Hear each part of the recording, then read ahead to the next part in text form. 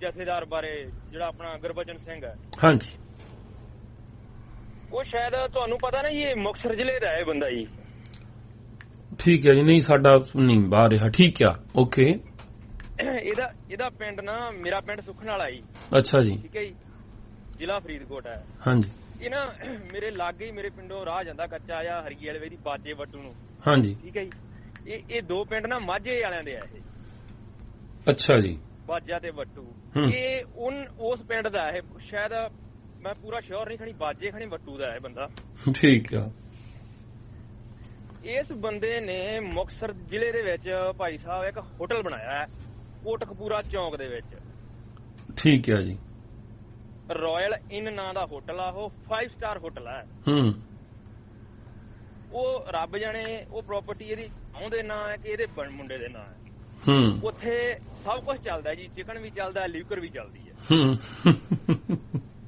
ਠੀਕ ਹੈ ਨਾ? ਜਿਹੜੇ ਅੱਜ ਇਹ ਧਰਮ ਦੇ ਠੇਕੇਦਾਰ ਬਣੇ ਬੈਠੇ ਆ ਜਿਹੜਾ ਆ ਛੇਕਣ ਛਕਾਉਣ ਵਾਲਾ ਕੰਮ ਇਹ ਹੁਣ ਮੈਨੂੰ ਪੁੱਛਣ ਵਾਲਾ ਜਥੇਦਾਰ ਨੂੰ ਵੀ ਤੈਨੂੰ ਕੌਣ ਛੇਕੂਗਾ ਹੁਣ?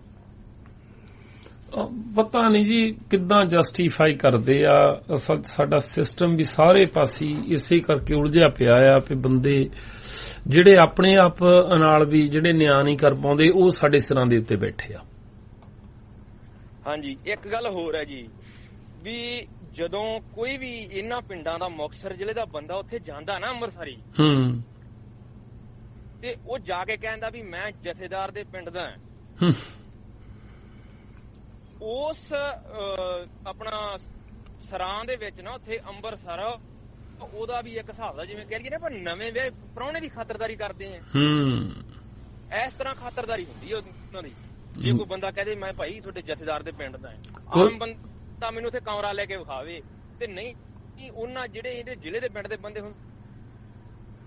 ਨਹੀਂ ਨਹੀਂ ਰੇਡੀਓ ਸੁਣਨੇ ਵਾਲਿਆਂ ਨੂੰ ਬੇਨਤੀ ਆ ਵੀ ਜਦੋਂ ਜਾਂਦੇ ਉੱਥੇ ਕਹਿ ਦਿਆ ਕਰੋ ਵੀ ਮੁਕਸਰ ਦੇ। 5 ਸਟਾਰ ਹਾਂ। ਇਹਦੇ ਇਹਦੇ ਪਿੰਡ ਦੇ ਆ ਬਾਜੇ ਦੇ ਬਟੂ ਆ ਸ਼ੋਰ ਨਹੀਂ ਮੈਂ। ਇਹਨਾਂ ਦੋਵਾਂ ਚ ਇੱਕ ਪਿੰਡ ਆ ਇਹ ਬੰਦੇ ਦਾ। ਤੇ ਪ੍ਰਾਹੁਣੇ ਵਾਲਾ ਟ੍ਰੀਟਮੈਂਟ ਮਿਲਦਾ ਜੀ ਇਹਦੇ ਪਿੰਡ ਦੇ ਬੰਦਿਆਂ ਨੂੰ।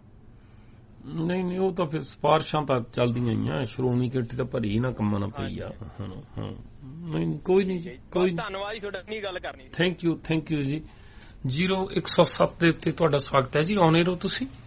ਹਾਂਜੀ ਵਾਹਿਗੁਰੂ ਜੀ ਕਾ ਖਾਲਸਾ ਵਾਹਿਗੁਰੂ ਜੀ ਕੀ ਫਤਿਹ ਜੀ। ਹਾਂਜੀ। ਹਾਂਜੀ। ਹਾਈ ਫਤਿਹ ਫਤਿਹ ਕਿਤਨਾ ਲਾਊਡ ਹੈ ਬੁਲਾਉਣੀ ਕਿ ਨਹੀਂ? ਪਤਾ ਨਹੀਂ ਨਾ ਮੈਂ ਤਾਂ ਕਨਫਿਊਜ਼ ਜਿਹਾ ਹੋਇਆ ਹਾਂ ਹੁਣ ਪਰਸੋਂ ਦਾ ਮੈਨੂੰ ਤਾਂ ਸਮਝ ਨਹੀਂ ਆਉਂਦੀ ਕੀ ਕਰਾਂ।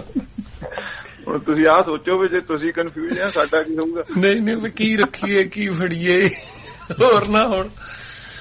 ਆਹੋ ਨਹੀਂ ਜਥੇਦਾਰਾਂ ਨੂੰ ਤਾਂ ਤੁਸੀਂ ਕਹੀ ਜਾਂਦੇ ਆ ਵੀ ਉਹਨਾਂ ਨੇ ਸਪਸ਼ਟ ਨਹੀਂ ਕੀਤਾ ਕੁਝ ਹੁਣ ਤੁਹਾਨੂੰ ਤੁਸੀਂ ਤਾਂ ਕਰੋਗਾ ਸਪਸ਼ਟ।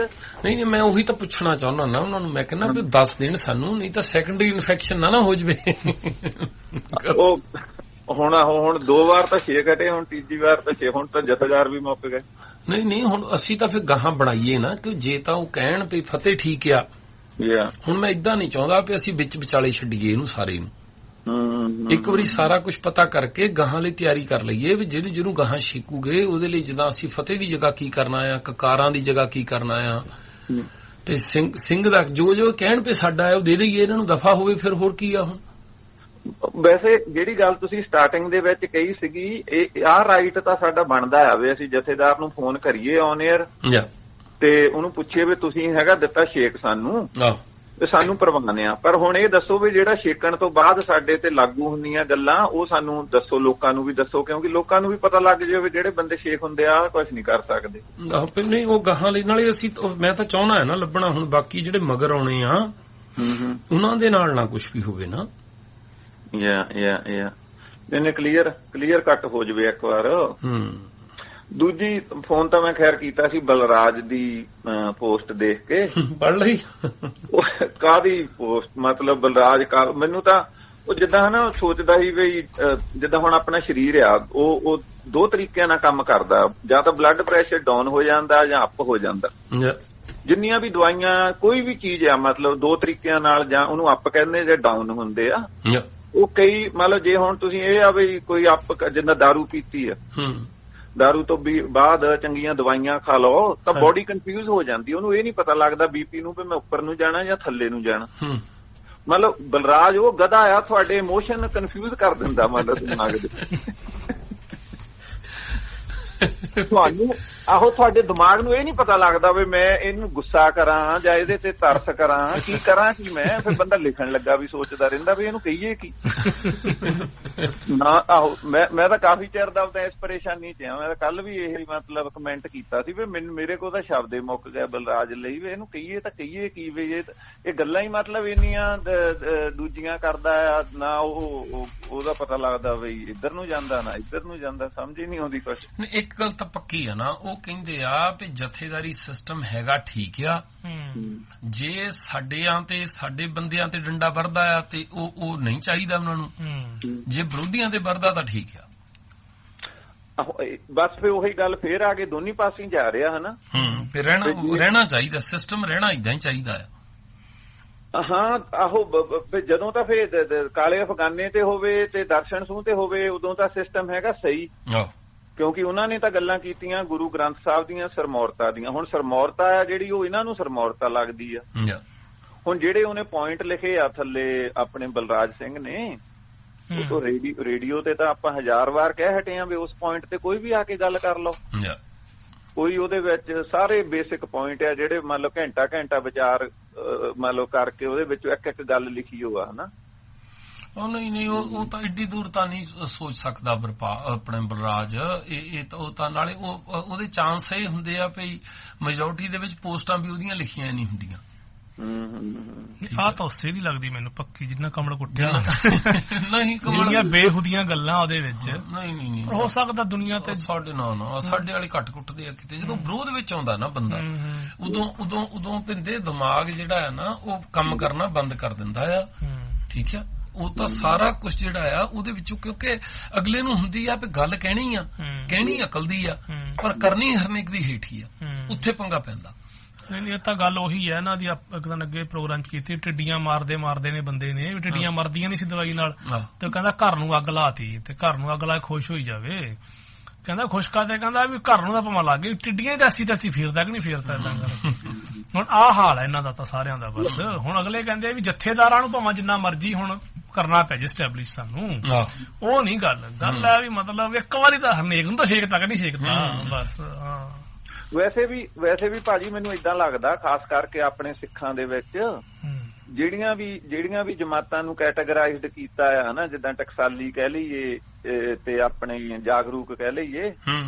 ਆਪਣੇ ਆਪ ਦੇ ਵਿੱਚ ਕੋਈ ਵੀ ਜਿਹੜੀ ਕੈਟਾਗਰੀ ਆ ਉਹ ਉਹ ਮਤਲਬ ਉਸ ਤਰੀਕੇ ਦੇ ਨਾਲ ਪੂਰੀ ਨਹੀਂ ਉਤਰਦੀ ਆਪਣੀਆਂ ਗੱਲਾਂ ਤੇ।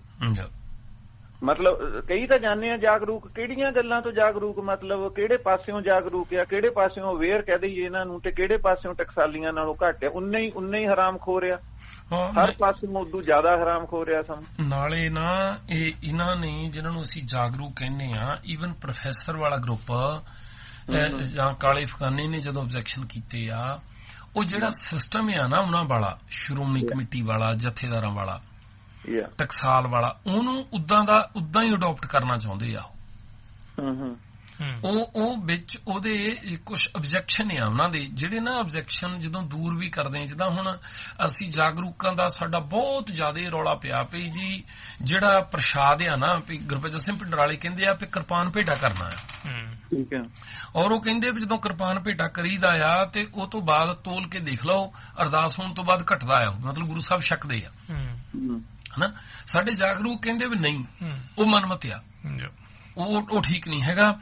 ਵੀ ਉੱਥੇ ਚਾਹੀਦਾ ਹੈ ਕਹਿਣਾ ਵੀ ਵੀ ਪ੍ਰਵਾਨ ਹੋਵੇ। ਦਰ ਪ੍ਰਵਾਨ ਹੋਵੇ। ਹੁਣ ਸਵਾਲ ਇਹ ਆ ਵੀ ਜੇ ਕਿਰਪਾਨ ਭੇਟਾ ਜਿਹੜੀ ਕਰਨੀ ਆ ਉਹ ਮਨਮਤ ਆ ਤੇ ਇਹ ਕਹਿਣਾ ਵੀ ਗੁਰੂ ਸਾਹਿਬ ਨੂੰ ਦਰ ਪ੍ਰਵਾਨ ਹੋਵੇ। ਉਹ ਗੁਰਮਤ ਕਿੱਦਾਂ ਹੋਊਗੀ? ਹੂੰ। ਉਹ ਕਹਿੰਦੇ ਵੀ ਇਹ ਟਕਸਾਲੀ ਕਹਿੰਦੇ ਆ ਵੀ ਜਦੋਂ ਅਰਦਾਸ ਚ ਕਹਿਣਾ ਹੈ ਨਾ। ਵੀ ਗੁਰੂ ਪਾਤਸ਼ਾਹ ਜੀ ਕੜਾਹ ਪ੍ਰਸ਼ਾਦ ਹਾਜ਼ਰ. ਹੈ ਤੇ ਦਰ ਪ੍ਰਵਾਨ ਹੋਵੇ ਉਸੇ ਸਮੇਂ ਕਿਰਪਾਨ ਲਾਉਣੀ ਹੈ ਆਹੋ।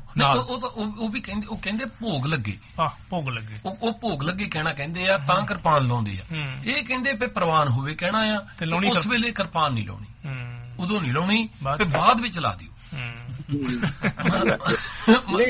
ਮਤਲਬ ਹਰੇ ਤੁਸੀਂ ਸਾਖੀਆਂ ਜਿੰਨੀਆਂ ਭਿੰਦੇ ਦੇਖ ਲਓ ਹੂੰ ਜਿਹੜੀਆਂ ਉਹਨਾਂ ਨੇ ਸਾਖੀਆਂ ਬਣਾਈਆਂ ਆ ਹੂੰ। ਇਹਨੇ ਉਹਦੇ ਵਿੱਚ ਦਾ ਸੁਧਾਰ ਕੀਤਾ ਆ। ਹੂੰ। ਵੀ ਇਦਾਂ ਨਹੀਂ ਹੋਇਆ। ਇਦਾਂ ਹੋਇਆ। ਵੀ ਪੱਥਰ ਪੱਥਰ ਉਹ ਕਹਿੰਦੇ ਵੀ ਪੱਥਰ ਸਿੱਟਿਆ ਉਹਨੇ। ਹੂੰ। ਤੇ ਗੁਰੂ ਸਾਹਿਬ ਨੇ ਪੰਜੇ ਨਾਲ ਰੋਕਿਆ। ਹੂੰ। ਇਹ ਕਹਿੰਦਾ ਇਦਾਂ ਨਹੀਂ ਰੁਕ ਸਕਦਾ। ਜੇ ਇਦਾਂ ਹੋਏ ਤਾਂ ਉਹ ਤਾਂ ਕਿਸੇ ਹੋਰ ਕਾਰਨ ਕਰਕੇ ਰੁਕ ਗਿਆ ਰਾਹ ਦੇ ਵਿੱਚ। ਉਹ ਨਹੀਂ ਕਹਿੰਦੇ ਮੱਝਾਂ ਚਰ ਗਈਆਂ। ਹੂੰ। ਓਕੇ ਬਾਅਦ ਚ ਆਏ ਤਾਂ ਹਰੇ ਹੋ ਗਏ ਖੇਤ। ਉਹ ਕਹਿੰਦੇ ਨਹੀਂ ਇਦਾਂ ਨਹੀਂ ਹੋਇਆ। ਗੁਰੂ ਪਾਤਸ਼ਾਹ ਨੇ ਪੂਰੀਆਂ ਅਵੇਅਰਨੈਸ ਨਾਲ ਚਾਰੀਆਂ। ਚਰੋਣੀਆਂ ਮੱਝਾਂ ਹੀ ਆ। ਮਤਲਬ ਹੋਰ ਕੰਮ ਇਹ ਨਹੀਂ ਕਹਿ ਸਕਦੇ ਭਾਈ ਉਹਨਾਂ ਦੇ ਮੱਝਾਂ ਹੈ ਹੀ ਨਹੀਂ ਸੀਗੀਆਂ। ਪਟਵਾਰੀ ਸੀਗੇ ਮੁੱਲ ਦੁੱਧ ਆਉਂਦਾ ਸੀ ਉਹਨਾਂ ਦੇ ਤਾਂ। ਮੱਝਾਂ ਲੈਂਦੇ ਨਹੀਂ। ਜ਼ਰੂਰੀ ਥੋੜਾ ਮੱਝਾਂ ਰੱਖਣੀਆਂ ਘਰੇ। ਸਾਖੀ ਗਲਤ ਆ। ਇਹ ਸਾਖੀ ਹੋਈ ਨਹੀਂ। ਅਸੀਂ ਨਹੀਂ ਮੰਨਦੇ। ਇਹ ਨਹੀਂ ਮੰਨਦੇ। ਹਾਂ ਉਹ ਬਸ ਉਹ ਜਦੋਂ ਕਹਿੰਦੇ ਆ ਵੀ 13 13 ਕਰਕੇ ਲਟਾਤਾ ਹੂੰ। ਮੋਦੀ ਖਾਨਾ ਤੇ ਬਾਅਦ ਚ ਟਕਸਾਲੀ ਕਹਿੰਦੇ ਬਾਅਦ ਚ ਚਮਤਕਾਰ ਦੇ ਨਾਲ ਜਦੋਂ ਆਇਆ ਤੇ ਪੂਰਾ ਨਿਕਲਿਆ ਆ। ਇਹ ਕਹਿੰਦੇ ਨਹੀਂ 13 13 ਕਰਕੇ ਨਹੀਂ ਆਪਣੇ ਹਿੱਸੇ ਚ ਲਟਾਈ ਗਏ ਹਾਂ ਵੀ ਤੁਸੀਂ ਇੰਨੇ ਇੰਨੇ ਮਹੀਨੇ ਇੰਨੇ ਸਾਲ ਨੌਕਰੀ ਕੀਤੀ ਆ। ਇੰਨੀ ਤਨਖਾਹ ਬਣਦੀ ਸੀ। ਇੱਥੇ ਇਦਾਂ ਇਦਾਂ ਉਹ ਉਹਦੇ ਵਿੱਚੋਂ ਦਸਵੰਧ ਆਪਣਾ ਕੱਢਦੇ ਸੀ। ਇੰਨੇ ਪੈਸੇ ਵਾਧੂ ਸੀਗੇ। ਉਹ ਉਹਨਾਂ ਵਾਧੂ ਨਿਕਲਿਆ ਹਾਂ। ਮਤਲਬ ਸਿੱਧਾ ਨਹੀਂ ਕਹਿੰਦੇ ਵੀ ਭਾਈ ਆ ਗੱਲ ਗਲਤ ਹੈ। ਹਾਂ।